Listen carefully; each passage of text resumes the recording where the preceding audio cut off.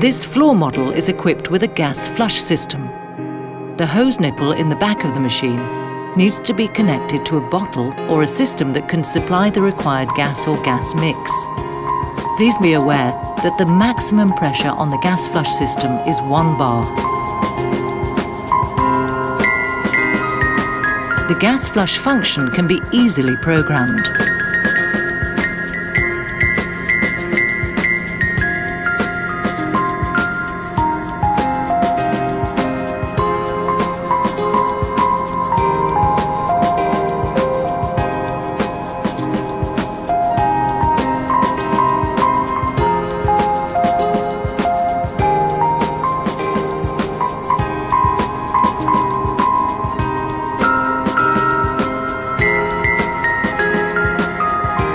MAP is the injection of a neutral gas and or food gas. It stands for Modified Atmosphere Packaging. Some benefits are stabilisation of the bacteriological flora, longer shelf life and protection of the structure of the product.